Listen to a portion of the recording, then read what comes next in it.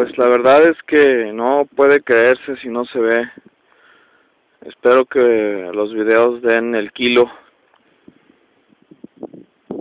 Y esto es Sierra Corral de los Bandidos en el municipio de García.